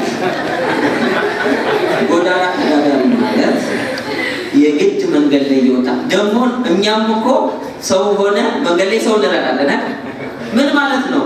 መንገድ ላይ ላለ የኔ ቤት እኮ ስትሰጡ ነገ መምጣት አይቀርም ቦታ አመቻችሁ ልኝ ይባላል። አትስቱ አይደለም ማወራችሁ። አሁን ማወራችሁ ይሄ የምነካካው ምንድን ነው ያለንበትን ማየት አንዳንዳችን እኮ ጉራችን እራሱ አይቻልም። ቤት ሳይሰራ የሰው ልጅ አንደኛ ክፍል ሀ ብለን ትምህርት ስንጀምር የተማርነው ምንድን ነበር? መሰረታዊ የማወራችሁ መሰረታዊ መሰረታዊ ነገር አላሟላንም። ይህም ብቻ ሶስት መሰረታዊ ነገር ለማሟላት ብንሰራ ለብዙ ሰው እንተርፋለን። እንደዛ የሰሩ ሰዎች ናቸው ተርፈው አሁን ለኔና ለእናንተ አከራይተውን ሊሆን ይችላል ወይም አስጠልለው ሊሆን ይችላል። ከ18 ዓመት በታች እዚህ ቤት ሰው አለ? ከ18 ዓመት በታች የለንም። ስለዚህ ብቁ ነን አይደለንም የራስ ቤት ለመገንባት። ኢትዮጵያ ውስጥ አይቻልም ምናምን የሚባል ነገር አለ። በህግም በፈጣሪም ዘንድ አሁን ቤት ያስፈልገናል። ይሄ ሊያንገበግብ ይገባል አይገባም? ቤት እንዴት አልሰራም? አይ አብዛኛው ሰው የለውም። ስለዚህ እንዴ አይባልም እንደሱ። እኔ መስራት አለብን። ቤት የመስራት ብቃት በውስጣችን አለ ወይንስ ብቃት ሳይሰጠን ነው ፈጣሪ የሰራ? አለ አይደል? ብቃቱ ብቃቱን ለማውጣት ነው እንዲህ አይነት ስልጠና የምንወስደው። ኢትዮጵያ ውስጥ እኮ እንዲህ አይነት ስልጠና የለም። በቲያንስ ቢዝነስ ካልሆነ በአሁኑ ሰዓት በቲያንስ ቢዝነስ ካልሆነ እንዲህ አይነት ስልጠና የሚሰጥበት maybe አንዳንድ NGO ዎች ገብታችሁ ስትሰሩ ወርክሾፕ ተብሎ በነፃ ምሳ እየበላሉ እዚህ ከፍለን ነው ትክክለኛ ትምህርት እየተሰጠ ሰው በነፃ ሲሰጠው ይገባል ወይስ ግራ ይገባል? ግራ ይገባል። አሁን ከፍላችኋል ከፍላችኋል አልከፍላል። ስለዚህ ይገባችሁ። ትንሽ ስትከፍሉ ትንሽ ይገባችሁ። ትልቅ ስትከፍሉ የሰው ልጅ እኮ ላመነበት ነገር ነው አይደል? ምኑን የሚያወጣው ገንዘቡ የሚያወጣ ላላመነበት ያወጣ አያወጣ። ለሆዳችን እናወጣለን አናወጣም? እናወጣለን። ከኔ ጋር ናችሁ? አብዛኞቻችሁ ማስተዛዘኛ ደርሶናል አልደረሰም? ያስታውቃል። መካከለኛ ገቢ ያላችሁ በናችሁ ታስታውቃላችሁ። ማስተዛዘኛ ደግሞ መጥፎ ዝቅ ካለን እኮ ዝቅ ብለን ለመስራት ይመቻላል። በድህነት ውስጥ አሁን ዝቅ እንዳለን ትንሽ ከፍ ብለናል። ወደ ላይ ከፍ እንዳለን ከፍ የምንልበት አይነት አቅም የለንም። ስለዚህ መካከል ላይ ድሃ እንዳንባል እንለብሳለን፣ እንበላለን፣ ሀብታም እንዳንባል ይቸግረናል። ስለዚህ ከሁለቱ አንዱ ነው እንጂ መካከል ላይ ያለው ማስተዛዘኛ ባይደርሰን ይሻላል። ህልም የሌለው አቅጣጫ የሌለው ህይወት ይኖራል። ህልም የሌለው አቅጣጫ ምን ማለት ነው? አቅጣጫ አቅጣጫ የሌለው ማለት ዛሬ አንድ ጓደኛ መጥቶ ወይም አንድ ደላላ መጥቶ እንዴት አውሮፓ እንደሚኬድ ሲነግረው አንድ ሰው የአስር ሺህ ብር ደሞዝተኛ ተነስቶ ምን ያደርጋል? በበረሃ ሞት አለ እንዳትሄድ እየተባለ አስር ሺህ ብሩን ትቶ ሀምሳ ስልሳ መቶ ሺህ ብር አውጥቶ የሰው ልጅ በረሃ ላይ ይሞታል። አቅጣጫ ሳይኖረን ሲቀር አቅጣጫ ያለውስ ሁለት ምርጫ ሲመጣለን እዚህ ጋር ከብት ማደለም እዚህ ጋር ሱቅ መክፈት ሲባል አይደለም። እኔ ግብርና ላይ ነው ፍላጎቴ፣ አላማዬ፣ ራእይ። ስለዚህ ሱቁ ሚሊዮን ቢያመጣም ይቅርብኝ፣ ለአላማ ይሞታለሁ ብሎ ግብርናውን ብቻ ይሰራል። ይህ ምን ይባላል? አቅጣጫ። አቅጣጫ ከሌለ የነፈሰ ንፋስ ሁሉ ይወስደናል። እኔና እናንተ ከፍዬ ገና መሻል አለብን። ወደዚህ ሲነፍስ አይደለም እኔ ወደዛ ነው ሄድ የምፈልገው ብለን ንፋሱን መሰንጠቅ መቻል አለብን። ያ ማህበረሰቡ ነው ግፊቱ ነው፣ ድህነት ነው አይደለም፣ መረጃ ማጣት ነው። እነዚህ ነገሮች ግፊቶችን ወደ አቅጣጫችን ብቻ ማድረግ የሚያስችለን ምንድን ነው? ህልም ነው። አለበለዚያ ደቡብ አፍሪካ ሲባል ግር ብለን ደቡብ አፍሪካ፣ አረብ ሀገር ሲባል ግር ብለን አረብ ሀገር፣ DV መሙላት ሲባል ግር ብለን መሙላት። ማን ነው እንደዚህ የሚነዳን? የህልም ማጣት። ህልም ካለንስ እኔ ራሴን ወዳለሁ፣ ቤተሰቤን ወዳለሁ፣ ሀገሬን ወዳለሁ ካለ ሰው ሀገሬ ላይ ብሞት ይሻለኛል ሰው ሀገር ሄጄ ከምለወጥ የሚል እምነት ያለው ሰው በነገራችን ላይ ይለወጣል። እንዲህ ብዬ አምኜ ነው ዛሬ እዚህ ጋር የደረስኩት። እኔ የአክስቴ ልጅ DV ደርሷት ማወራችሁ የዛሬ አስራ ስምንት አስራ ሰባት ዓመት ነው። DV ደርሷት በቃ ተጋብተን እንሄድ አንተ ባንክ ስለምትሰራ ተጋብተን ብንሄድ ተጋብቶ መሄድ የሚቻልበት ጊዜ አልነበር እንሄድ ከዛ የተባለውን ገንዘብ አይደል ነው በጊዜው ሀያ ሺህ ብር ነው ሰላሳ ሺህ ብር ነው ይቻላል እንደሱ ማግኘት። እንሄድ ስትለኝ አልሄድም። እኔ ሰው ሀገር መሄድ አልወድም። ድህነቴ ነግራቸዋለሁ በእግር እንዴት እንደሚሄድ ግልጽ ነው? እና ድህነት አጥቼ አይደለም ያልኩት ግን ነው አልሄድም እዚሁ መቀየር እፈልጋለሁ። ከዛ ሌላ ደግሞ አንድ ጊዜው አንድ ጊዜ የሆነ የእንግሊዝ እድል መጣ በመስሪያ ቤት በኩል። ከዛ ሲመጣ አለቃቸው ምን አለ? ፓኪስታናዊ ነው። እኔ ነፃነትን ነው ማምነው ደርሰን መምጣት እንችላለን። ምን ያክል ነው የሚያስወጣው? አስር ሺህ ብር ሌላውን ወጪ ሌላው ከበር ያደርጋል። አይ እኔ አስር ሺህ ብር ለእናቴ ብሰጣ ይሻለኛል፣ ስለዚህ አልሄድም። ሌሎቹ ተሰባስበው ኧረ እባክህ አንተ ጥፋና ለእኛ ታሳልፍልናል። እንዴ እኔ የማውቀው ሰው ሲጠፋ ይበላሻል እንጂ ለሌላው አያሳልፍም። ስለዚህ አልጠፋም እበራለሁ። ስለ መብራት ይታሰባል እንጂ ስለ መጥፋት ይታሰባል። ኳስ ተጫዋቾች ድሮ እየሄዱ ምን አደረጉ ይባላል፣ በዛው ጠፉ። የትኛው ኳስ ተጫዋች ነው የተሳካለት ስኬታማ ብለን በቴሌቪዥን የምናየዋል? አንድም የጠፋ ሰው የበራ ማቀቡ ከጠፋ ጠፍቷል። ስለዚህ ስለመጠፋት ማሰብ የለም። ወደ ህልማችን ስለመሄድ ማሰብ አንድ ነገር። ህልም ደግሞ የተለያየ ሀገር ውስጥ የተሰነቀረ ጉዳይ አለ። በማን ውስጥ ነው ያለው? በኔና በእናንተ ውስጥ ነው ያለው። የምንቀይረው እኛ ቦታ። እንደውም ችግር ባለበት አካባቢ ያለ ሰው ችግር ባለበት እኮ አንድ መፍትሄ ይዞ የቀረበ ለብዙ ሰዎች ይጠቅማል። ስለዚህ ያለ ቢዝነስ ማለት ለብዙዎች መፍትሄ ማቅረብ ማለት ነው እንጂ ገንዘብ ተሰብስቦ የተቀመጠበት የሆነ አገር የሆነ ቦታ ይኖራል። እዛ ሄደ እያወጡ መኖር ነዳጅ ማውጣት ሰዎችን ሚሊዮነር የሚያደርጋቸውን ሀገርን የሚቀይር ቢሆን ነው ነዳጅ የሚያወጡ ሀገሮች ባልተባሉ ነበር። ግልጽ ነው። ኢትዮጵያ እያደገች ያለችው አሁን በነዳጅ ነው አለ ነው ወይስ በባህር በሯ ነው? የባህር በርን በሰላም ሄደልን ነዳጅም የለንም እያደግን ነው አይደል? አሜሪካ ጭምር መታ በፕሬዚዳንቷ የምትጎበኘን ለምንድን ነው? ምንድን ነው ችግራችሁ? እንዴት ነው? የባህር በር የላቸው ነዳጅ የላቸው ምንድን ነው የሚያደርጉት? የተለወጥ ነው ማለት እኛ ነን። ይቻላል ማለት የጀመርነው የኢትዮጵያ ሕዝብ ነው። ሕዝብ ደግሞ ከነዳጅ እንደሚበልጥ እርግጠኛ ነን። እስኪ ከነዳጅ በታች ነኝ የሚል አንድ በርሜል ድፍድፍ ብሆን ይሻለኛል ሰው ነው። ስለዚህ የተሻለን እንችላለን ያለንነት የሚችለን የለም። ኢትዮጵያውያን እንለወጥ ብንል አዲስ ታሪክ ነው ወይንስ ድሮ የነበርንበት እንመለስ ማለት ነው? የነበርንበት ቦታ መመለስ ነው አለቀ እንጂ አዲስ አዲስ ታሪክ መጻፍ አይደለም። ኢትዮጵያ እኮ ጥርግርግ አድርጋ የምትገዛቸው ሀገሮች ውስጥ ነው እየሄድን ሽንት ቤት ካላጸዳን እያልን ያለን። ይሄ ማለት የሰው ልጅ ጭንቅላቱን ሲያወሩ ይሄን ያክል ይወርዳል። ደግሞ በቃኝ ያለለት አለቀ። በቃኝ ያለለት አለቀ። እንደኔ በቃኝ የምትሉ ሰዎች ካላችሁ አንድም ሁለትም ሶስትም እድል ሳገኝ አልሄድም ብዬ ዛሬ ላይ እኔ የማገኘው ገቢ እኔና ባለቤቴ ሁለታችንም diploma holder ነን። እኔ በ accounting ባለቤቴ በ secretarial science፣ ሁለታችን ብትደምሩ advance diploma ነው ዲፕሎማ ወንድሜን ደግሞ ስታዩ ወንድሜ ታናሽ ወንድሜ ያለ ማስተርሱን በ civil engineering ይዟል። አሜሪካ ነው የሚኖረው። ባለቤቱ ዲግሪ ያላት 85 ሺህ ዶላር በአመት ገቢ ያላቸው ground plus ቤት ሰርተዋል። basement ኡን አከራይተውታል። 30 ዓመት ክፍያ 25 ዓመት ይቀራቸዋል ክፍያ ቤቱን። እኛ በሰባት ዓመት በቲያንስ G plus ቤት ሰርተናል። አራት floor ያለው ማለት ነው። ground floor ኡ ባህላዊ ሳሎናችን ነው። አናከራየውም አናከራየውም። በአመት ከ150 ሺህ ዶላር በላይ እናገኛለን። በሰባት ዓመት ከቲያንስ ከሰባት ሚሊዮን ብር በላይ ተከፍሎ ነው። የመጀመሪያው ኮሚሽኔ 216 ብር ነው። እሷን ይናቀል ሌላ ቦታ ሄዱ ባለ 10 ሺህ ብር ደግሞ ስሩ ጥሩ ይሄ ምን ይባላል? ባሊ መሸከም። ባሊ እየተሸከመ የሚኖር ሰው አንድ ቀን እጁ ይበጠሳል። ቲያንስስ 216 system መገንባት፣ ቧንቧ መስመር መዘርጋት። የቧንቧ መስመር የሚዘረጋ እስኪ ዘረጋ ነው ጠብ ያደርጋል። ከዛስ በየቤቱ ቆጣሪ ተገጥሟል። ሆድ እንደሆን መጉደሉ አይቀርም። ውሃ ያስፈልገዋል። ለዘላለም ትጠጣላችሁ። ይህ ምን ይባላል? system መገንባት ይባላል። ስለዚህ ምርጫችሁ system መገንባት የሆነ ይሄ ህልም መጀመሪያ ያስፈልግ ትልቅ ህልም ያስፈልግ። አለበለዚያ አስር ሺህ ይበቃኛል፣ አምስት ሺህ ይበቃኛል። እኔ upline ኤ ጆይስ ምን አደረገች? እኔም ገለጻ ስትሰጠኝ እኔ ህልም አለኝ። በቃ የጊዜ የገንዘብ ነፃነት እፈልጋለሁ፣ ድህነት አስቸግሮኛል ምናምን እገባለሁ። እህ መቶ ሰማንያ ብር ከየት ላምጣ? ሀያ ዶላር አንድ ዶላር ዘጠኝ ብር ነበር የዛሬ ሰባት ዓመት ከየት ላምጣ? ካለቀኝ ተበድሬ ገባው። መበደር ራሱ አስቸጋሪ ነው፣ ነግሬያቸዋለሁ። ገቢ በእንደዚህ አይነት አድርጌ መስራት ጀመርኩ። አሁን ያለሁበት ጋር system ገንብቼ መድረስ ችያለሁ። ጆይስ ለእኔ ገለጻ የሰጠች ጊዜ እዛ ጊዜ አንድ ሰው አገኘች፣ United Nation ውስጥ የሚሰሩ ገለጻ ስሰጣቸው እኔ አሜሪካ ነበር የምኖረው፣ አሜሪካ ቆይቼ መጥቻለሁ። ስለዚህ አሁን UN ውስጥ ነው የምሰራው። እንደዚህ አይነት ነገር አነስተኛና ጥቃቅን ለሚሰሩ ሰዎች ስጫቸው እኔ ጥሩ ገቢ ያለኝ። በእውነት በጣም ሀያ አምስት ሺህ ብር ደሞዝ ያገኙ ነበር። አምስት ዓመት ከሰሩ በኋላ እድሜ ዘግዛላ ነው ጡረታ ወጡ። ጡረታ ሲወጡ ከሀያ አምስት ሺህ ተፈጥፍጠው ስንት ላይ ነው የሚደርሱት? አምስት ሺህ አካባቢ ኑሮ ይጨምራል፣ የቤተሰብ ቁጥር ይጨምራል፣ ገቢ ምን ይሆናል?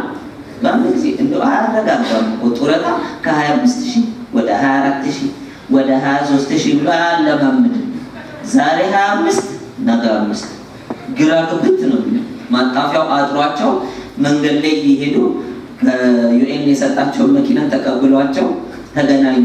እኔ ደግሞ ከሁለት ሺህ ብር ደሞዝተኝነት ይህን system ተቀብዬ system ኡን ገንብቼ ገንብቼ መቶ ሺህ መቶ ሀምሳ ሺህ በጊዜው አገኝ ነበር። የዛሬ ሁለት ዓመት እያገኙ ትልቅ ቢሮ ከፍቼ ባንክ ይመስላል የቲያንስን specialty shop ማለት ነው። እዛ ቢሮ አለኝ ምናምን መጣ አገኘቻቸው። ከቢሮ በታች ታገኛቸው እንዴት ነው ምናምን ጡረታ ወጥቼ አሁንማ ምናምን እና ያንን ያልኩትን ስራ ይሰራሉ። አይ አሁንማ ጊዜ ይሄዳል። በቃ ይምጡ አንድ ጊዜ ብቻ አንድ ጊዜ ብላ እጃቸውን ይዛ ቁጭ አረገቻቸውን የቢሮ ከዛ ምን ብትል ጥሩ ንገራቸው ንገራቸው የት እንደነበር የት እንደደረስ እሳቸው በዛ ጊዜ እምቢ አሉ። ለአነስተኛና ጥቃቅን ስጪ አሉኝ። እኔም ለአነስተኛና ጥቃቅን ይህን እንድል ሰጠው። አንተ አነስተኛና ጥቃቅን ነበር እሳቸው አሁን ብሎ ነው አነስተኛና ጥቃቅን እዛው ፊታቸው ዝንጠጥ አርጋ ነው የምትናገረው። እዚህ ዛሬ የምትመጣ ጉዳችሁ እየጠቆመች ነው የምታወራው። ከዛ ነገርኳቸው አንድ ባንድ እያወጣው እየተከፈለኝን ባንክ ቡኬ ለአንዳንድ ሰው ባንክ ለአንዳንድ ሰው ብሩን ቆጥራችሁ ራሱ ካላስነካችሁ ታያሉ። አሁን እኔ ስድስት መቶ ሺህ በወር ማገኝ ይመስላል ወይ ቦርጭ የለም ወይ በረሃ የለም። የተለመደው እሱ ሰው ካልወፈረና እጁ ኪሱ ከቶ ሰው ካላቀ እንዲያየ የምልህ ሰርልኝ ካላለ ሀብታም የሆና ይመስላል። ሀብታም ማለት ጉረኛ ማለት አይደለም። ሀብታም ማለት የሰው የጤና የገንዘብ የእውቀት ወዘተ አይደል? የፍቅር የፍቅር ሀብታም ሲሆን ሀብታም ይባላል። የእነዚህ ሁሉ ስለምትሆኑ መጎረር ራሱ አይቻልም። በዚህ ቢዝነስ ይቻላል አይቻልም። ስለዚህ ህልም dream የምላችሁ አሁን ህልም የሌለው አቅጣጫ የሌለው ህይወት ዛሬ ቧንቧ መስመርን ገንቡ ትልቅ ህልም ኖሯችሁ ለመድረስ የሚሄዱ እሱንም ትታችሁት normal ኖሮ መከራና ችግር አለ። ነገር ግን እየተለወጥን ችግር ቢመጣብን ይሻላል። ባለህበት እርገጥ ላይ ባለህበት እርገጥ አያስተማምንም። ብዙ ሰው አስተማማኝ ስራ ይፈልጋል። አስተማማኝ የሚባል ስራ የለም። የሰው ልጅ የሚያስተማምነው የራሱ ምንድን ነው commitment ኡ ነው እንጂ ምንድን ነው የሚያስተማምን? system መገንባት አለብን። ጤናችን ራሱ አስተማማኝ አይደለም አይደል? ፈራሽ ነን፣ ወዳቂ ነን። እኔ ስወልድ ቤተሰብ ምን ዛሬ እኔ ብሞት እንኳን አልሰጠም ድንገት ሰው ነን። አንድ ነገር ቢገጥመኝ ብዬ አለቀ። system ኡን ወርሰው ቤተሰቦቼ መስራት ይችላል። ልጆቼ በገንዘብ አይቸገሩም በአባት ፍቅር ካለ ግልጽ ብዙዎቻችን እኮ ድሃ ትላለች upline ኤ ጆይስ ድሃ ሲሞት ራሱ የሚያወርሰው ምን ነው ትላለች። እዳውን አደራ ሰማያዊ ስሜ እንዳታስጠሩ ችን ዕዳ ክፈሉ ቶሎ እዛ እንኳን ልረፍበት እዚህ ያላለፉ ግልጽ ነው። ስለዚህ ይሄ ጠንካራ ፍላጎት ማለት ነው selfish መሆን፣ ስግብግብ መሆን፣ የሰውን መመኘት አይደለም። ያለንን እምቅ ችሎታ አውጥተን ብንሰራ የሰው ልጅ እኮ ቢሳካለት ሚሊዮነር ቢሆን ቢሰራ ስንት ወድ ነው የሚኖረው? ሚሊዮነር አንድ ነው እኮ አይጨምርም። እዚህ ውስጥ እንደው ህልም ያላችሁ ትኖራላችሁ። እኔ ሀብታም ስሆን ያልበላሁት ብዙ ዘመን ስላለ አራት ጨጓራ ከድሃ ላይ ገዝቼ አስገጥሜ እበላለሁ የሚል ሰው አለ? አይኖርም። የምንተኛው አንድ አልጋ ላይ ነው። የምንበላው አንድ እንጀራ ነው። የጥራቱ ጉዳይ ይለያል አይደል? የአይነቱ ጉዳይ ይለያል። ነገር ግን የተረፈው ምን ይሆናል? ለሰው ይሆናል። ስለ ሰው መትረፍ አስባችሁ ታውቃላችሁ? ቤተሰብ እስቲ ለእናቴና ለአባቴ ደህና ነገር ማድረግ እፈልጋለሁ የሚል ሰው የሚነግረን አንድ ሰው ማድረግ የሚፈልገው ለእናት ለአባት ለወላጆቹ ምን ማድረግ ትፈልጊያለች? በጣም ጥሩ ሀጅ መውሰድ ትፈልጋለች። እንግዲህ ሙስሊም ሆና ሀጅ መውሰድ ማለት ለወላጆቿ እንዴት የሚያሳርፍ ነገር እንደሆነ አስቡት። ይህን ባታደርጊው ለዘላለም ውስጥሽ እያለ ይኖራል። ብታዳፍኙ አይለቅሽም። ይህ ፍላጎት አይደለም። በቃ ህይወት አስፈላጊ እንትን ነው፣ ምንም ዋጋ የለውም ድህነት ውስጥ ስላሉ አይችልም ብትይም እንኳን በውስጥሽ ግን የፍላጎት መብላቷንችን አይቀርም። ስለዚህ ይህን ብታሳካ ለወላጆቿ የሚሰማቸውን spiritually እረፍት አይታችሁታል። ባታ ይህን አደረኩ ለማለት ሳይሆን ይሳካል። የ2100 ብር ደሞዝተኛ ካሳካው እናንተ ማሳካት ትችላላችሁ። diploma holder ካሳካው እናንተ ማሳካት ትችላላችሁ። ይሄ አሁን እንደዚህ ርር የሚለው ምላሴ ያኔ አልነበረም። ሲከፈለኝ ነው speed ኡ የጨመረው። 216 ብር እያገኘው እንደዚህ አለፈልፍም ነበር። ድምፄ ዝግ ያለ ነበር። እርግጠኛ አልነበርኩም። እንደ 200 ነበር የሚጮኸው። ከዛ 279 ሲሆን እንደ 279 ከዛ የሚቀጥለው ኮሚሽን 970 ነበር እንደ 970 ስራ ለቅቄ ስሰራ 4300 ሳገኝ ጮክ ማለት ጀመረ። 100 ሺህ ሳገኝ ደግሞ ዝነት እያልኩ ማውራት ጀመርኩኝ ነው። ከዜሮ ነው የተጀመረው፣ ከጥርጣሬ ነው የተጀመረው፣ ካለማወቅ ነው የተጀመረው። ሰው ፊት ማውራት እንደማንችል አብረውኝ የተማሩ ጓደኞች ቢያዩ ይገርማቸዋል። እንደዚህ እኮ ቢባል ይሄማ ነፃነት አይደለም ሌላ ሰው ጎርሶ ነው ብለው ይነግሯቸዋል። ስለዚህ ክህሎት ኖሮኝ አይደለም፣ ሞቲቬት ለማድረግ አይደለም እነግራችሁ። ስለዚህ ይህን ማድረግ እኔ ከቻልኩኝ እናንተም ይህንን ማድረግ ትችላላችሁ ነው። ለቤተሰብ መስጠት ፍላጎታችን ነበር። ስለዚህ ቤታችንን ሰርተን ልክ እንደገባ የሰብሊን ወንድም የባለቤቴን ወንድም ጠራን። መኪና አንድ መኪና ገዛ፣ የመቶ ስልሳ ሺህ ብር መኪና። ከዛ እቤት መጣ።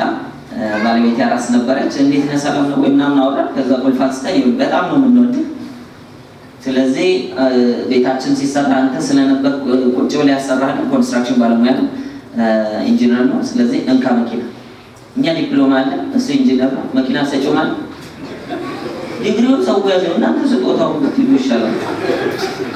አሁን ዲግሪ ያላችሁ ጣሉት አይደለም፣ ግን ወደ ገንዘብ እንቀይረው ሰጠ ነው። እስከ ዛሬ እንደደነገጠ የወስዱት ይሆን እያለ ማለት ነው።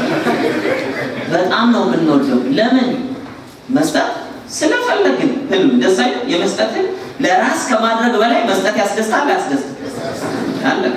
ከዛ ልጃችንን ደግሞ ክርስትና ስናስነሳ ምን እናርገው? ለወላጆቻችን ነው ለእኔና ለአንቺ እናት ምን እናርገው? ብር እንስጣቸው እንስጣቸው። እንደ ይበል። ያው ወላጆች ይሰጋሉ። ታውቃላችሁ፣ አንድ ነገር ቢመጣ ምን እንሆናለን? አንድ ነገር ቢመጣ ምን እንሆናለን? ባይነግሯቸውም ይሳቀቃል። ለምን ረፍ አይሉም? ስንት እንስጣቸው? መቶ መቶ ሺህ እንስጣቸው እንስጣቸው። መቶ መቶ ሺህ ማለት የወር ኮሚሽናችንን ግማሹ ማለት ማለት ተስገብግበን ማለት ነው የምንሰጠው። ቋጥረን ማለት ነው የምንሰጠው። መቶ ሺህ ማውራችሁ ያን እንስጣቸው። ከባንክ አውጣን በቼክ አደረገ ጠራናቸው። እንግዲህ እናንተ ባትወልዱ ኖሮ እኛ እችን ልጅ አንወልድም።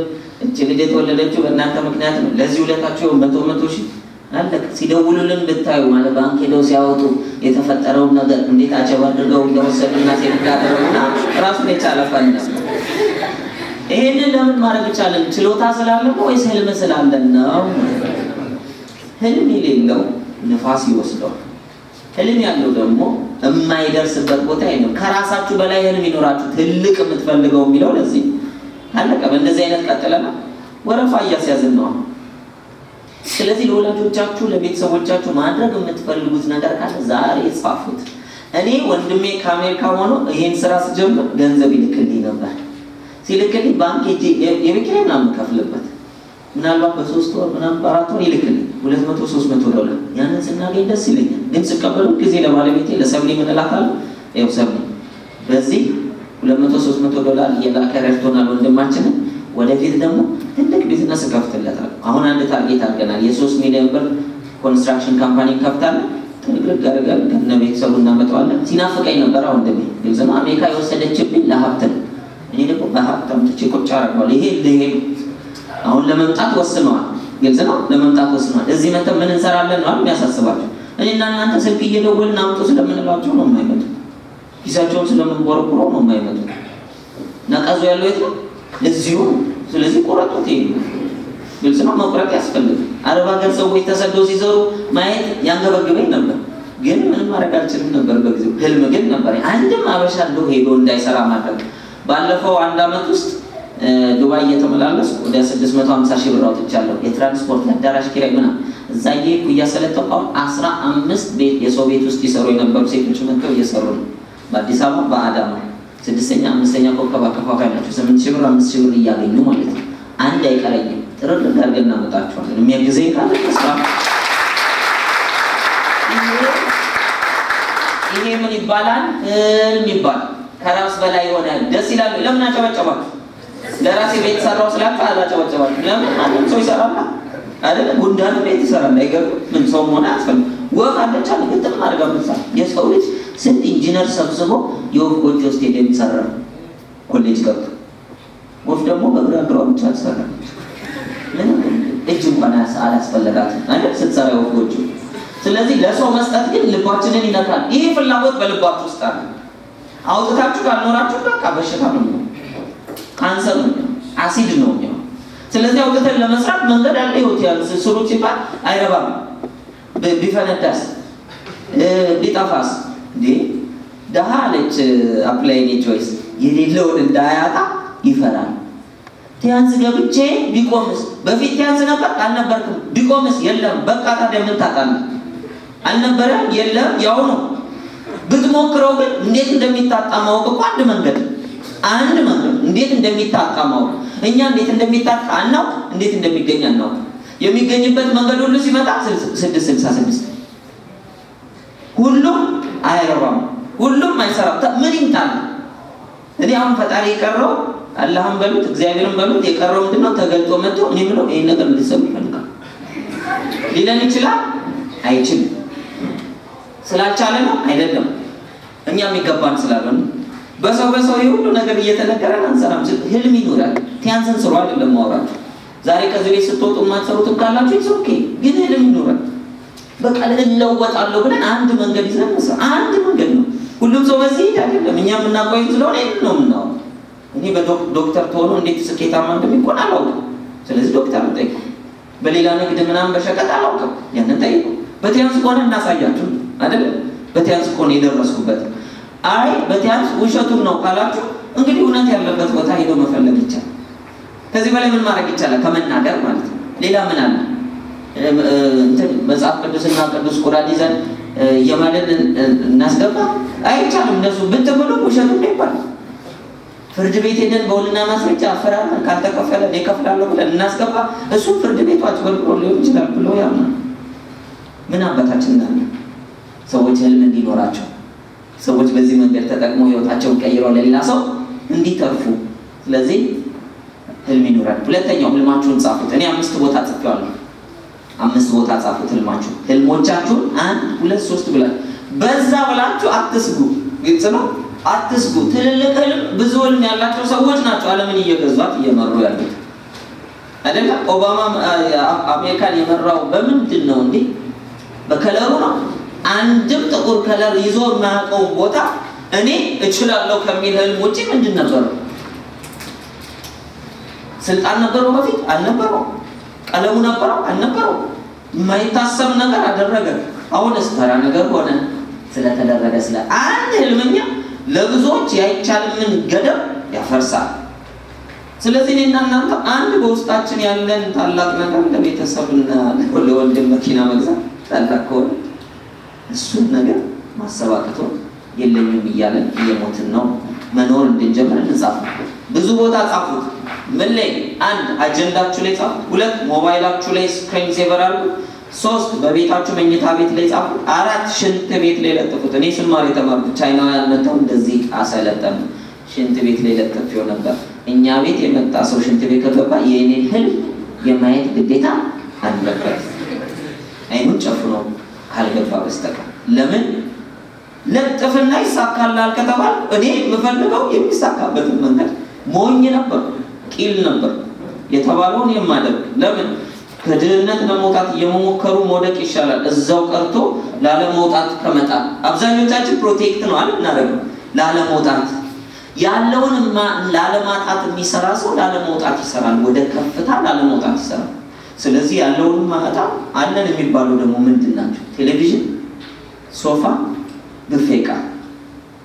ብፌ ዕቃ የሚባለው ነገር ድሬዳዋ ውስጥ መኖሩን ብዙም ባላውቅም ብፌ ዕቃ ማለት ኤግዚቢሽን ማለት ነው። ለሰርግ ጊዜ የተሰጠን ስጦታ ገብቶ ተቆልፎ ቁልፉ የት እንዳለ የማይታወቅበት ዕቃ ማለት ነው። በቤት ውስጥ በሰባራ ሲኒ እየጠጣን እዛ ጋር show ነው። እንግዳ ሲመጣ እስቲ አውጡለት ተብሎ አውጥቶ እሱ ምናልባት ወተት የሚቀርብ ሻይ በዛ ሻዩን ፉት ብሎ ሲያስቀምጥ ጠርዝ ላይ ካስቀመጠው ቤተሰቡ እንዳለ ልቡ ጥልጥል እንደሚልበት ነው። ይሄ የውሸት ህይወት ይባላል። የሌለ የማንኖረው show ደርድረን ፍሪጅ እኮ ሳሎን የምናስቀምጥ ጀግኖች ነው። ለምን ይታይ እነሱ ቤት አለ እኛም እንደውም በሩ ሲከፈት ፊት ለፊት መሆን ያለበት ፍሪጅ፣ ቲቪ ምናምን አንድ ላይ ሱቅ ይሁን ኑሮ ይሁን የማይታወቅ ህይወት ነው የምንኖረው። show ከዚህ ህይወት መቼ ነው የምንወጣው? ይሄ ማለት ህልም ያለው ሰው ብቻ ነው የሚያሸንፈው። እናንተ ቤት ፍሪጅ አለ፣ እኛ ቤት ግን አያስፈልግ። እስቲ ዛሬ ፍሪጃችን ብንከፍተው ውስጡ ምን እንዳለ የሚነግረኝ አትንገሩኝ፣ እኔ አውቀዋለሁ። ውሃ የቀዘቀዘ ሎሚ የተበላሸ ሎሚ እና ቃሪያ የቆየ እውነት አሰብ ቃሪያው ራሱ በርዶት በቃ ተበላሽቶ ዘሩ ጠፍ ለአመት በዓል ሰሞን ደግሞ ፍሪጅ ይጨናነቃል። ከዛ በኋላ ሲከፈት ቤቱ እንዳለ ይገማል። ይህ እኛ ቤት ስላለ ነው ነግራችሁ አዲስ ታሪክ አለ። ስለዚህ ፍሪጅ እኮ አያስፈልግም። በአመት ሶስት ጊዜ በዓል ቢደረግ ለሶስት ጊዜ ተብሎ ሶስት መቶ ስልሳ አምስት ቀን መቀዝቀዝ አለብን። ቢያንስ ድሬዳዋ ቀዝቃዛ ማነው ሞቃት ስለሆነ ፍሪጁን እየከፈቱ ቤት ማቀዝቀዝ ይቻል ይሆን? እንደሱም ያደረገ ሰው ያለ አይመስልም። ውሃ አቀዝቅዘን የምንጠጣ በሰፈር ውስጥ አንድ ፍሪጅ ይበቃል። ፍሪጅ ማለት ስንት ብር ነው እንዲያውም የሚገዛ? አምስት ይገኛል። አስር ሺህ ስምንት ሺህ አስር ሺህ ከሆነ ስንተኛ ኮከብ አከፋፋይ ነው? ስንት star ነው በተያዝ አስር ሺህ ማለት ሶስት አራት ጊዜ ሁለት ሁለት ከምናምን? ሁለት three star እና አንድ two star ቤት ገትረን እዚህ እኛ ስንት star ነን? ስለዚህ አውጡና ምንም ችግር የለም። ለአመት በዓል ደግሞ ስጋ ማንበላት ሶስት አመት ምን ችግር አለ? ከዛ በኋላ ከብት በመድፍ እየጨረስን መብላት እኮ እንችላለን አይደል? እኔ ማሰበው እንደዛ ነበር በፊት እንደ ልባችን መኖር እንድንችል አጭር ጊዜ ራሳችንን ከሌላው ሰው አኗኗር ዝቅ ማለት ነው። አሁን ትንንሽ መዝናኛዎች ነው የምንተዋቸው። እሱ ህልም ይባላል። እነዚህ ቦታዎች ላይ ጻፉት። dream አችሁን ለሰዎች share አድርጉ። ለሚያዳምጣችሁ ትችላለህ፣ ቀጥል፣ በርታ ለሚላችሁ ለሌላ ሰው አትናገሩ። ህልም አስወራጆች አሉ። እንደ ጽንስ አስወራጅ ህልም አስወራጆች አሉ። ሄዳችሁ የሚሊየነር ልሆን ነው ስትሉ ልትሆነ ትላንት ያበደርኩን አስር ነው ይላል። እዚሁ የሚያማሽሿችሁ ሰዎች አሉ። ስማችሁን የሚቀይሩ ሰዎች አሉ። አሁን ማወራችሁ ስለ ቤተሰብና ጓደኛ ነው፣ የቅርብ ሰዎች ኑሮ እየመሰለን ከድህነት እንዳንወጣ እዛው እያሟሟቀን የሚቀር ትረባ ፈርቶ ወደ ስኬት የማይሄድ ብዙ ሰው አለ። በዛው የሚቀር እንዴት በዚህ እድሜ አደርጋለሁ፣ እንዴት በዚህ ስልጣኔ ይህን አደርጋለሁ፣ እንዴት በዚህ image ከእገሌ ቤተሰብ ተፈጥሬ እንዴት እንዲያደርጋለሁ እያለ ብዙ ሰው ስሙን ይዞ ኑሮን ያጠፋል። ያንን አሁን በቃኝ ብለው መውጣት አለ። እኛ ስንለወጥ ለብዙዎች ምሳሌ ይሆናል። አንድ ህልመኛ ያስፈልጋል። ይሄ የተለመደውን የድህነት አስተሳሰብ ምን የሚያደርግ የሚጠረምስና ወጥቶ የሚያሳይ መልካም ነው ጥሩ ነው የሚሉ ሰዎች ቦታ መድረስ አለብን ነው። ሌላው ድሪም ቦርድ እናዘጋጅ፣ የህልም ሰሌዳ ይኑረን።